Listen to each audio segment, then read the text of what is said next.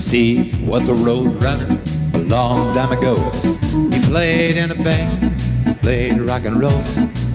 He played bass, Ron played the lead, Johnny played the drums, Larry played the reed, Pat tried to sing.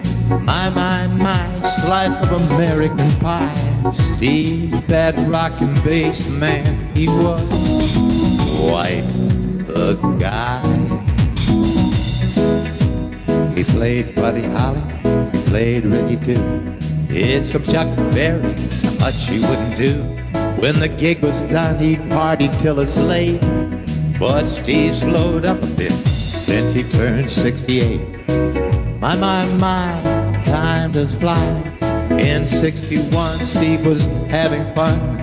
Now he's got the Roadrunner blues. Yes, he does.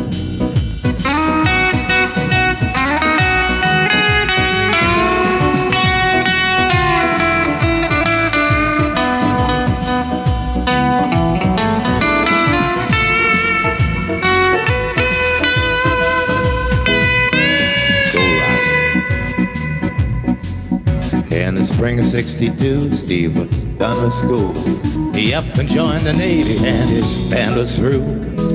Life moved on, had learned a trade. Got married, had some kids, had to work to get paid. My, my, my, a family guy. That was his fate. Her life was great, but now he's got the Roadrunner blues. Steve had a date with the age of 68. He reminisces about his fate. If he kept going and reached the top, he could tell us about Vegas instead of the stop stopping pop.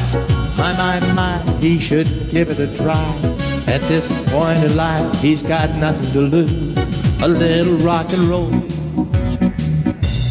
could cure Stevie Boy's blues.